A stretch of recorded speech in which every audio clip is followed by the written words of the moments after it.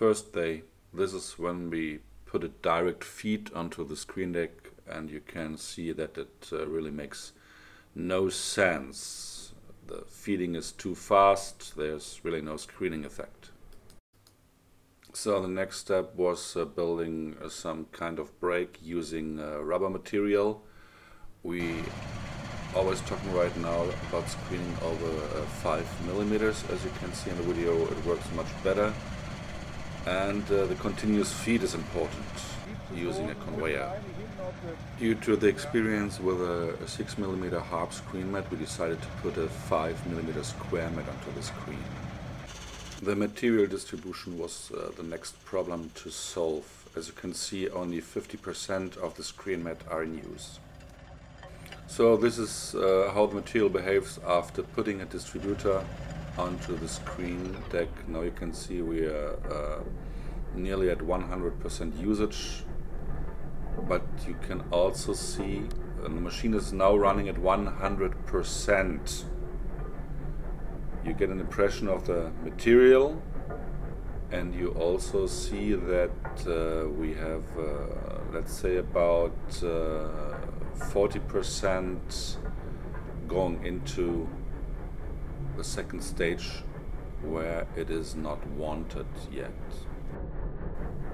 Having a closer look right now at slow motion, you get a very good impression of the structure of the material.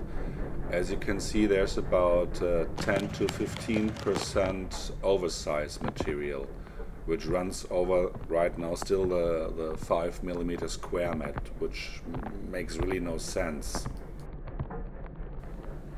So we decided to mount a second screen deck using a 10 millimeter square mat. The machine runs at 100 100% right now, which makes a, a very good impression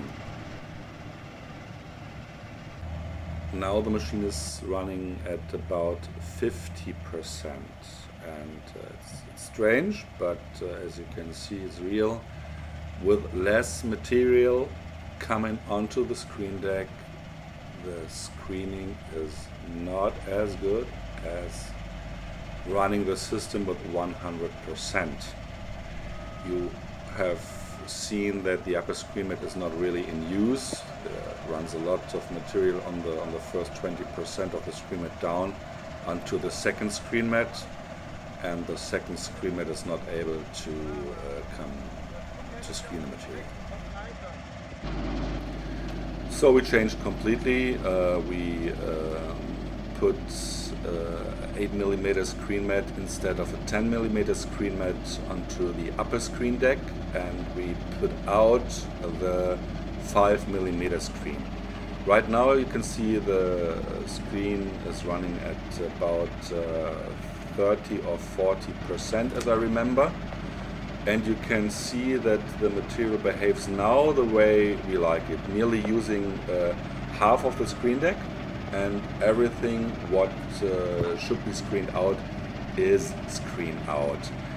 The same thing uh, right now uh, at 100% and uh, 8 millimeters. As you can see, we now can use uh, the screen mat completely and we at about uh, 80 or 90 percent we have screened out everything what should be screened out. So we could uh, take the system up to 120, let's say 130 percent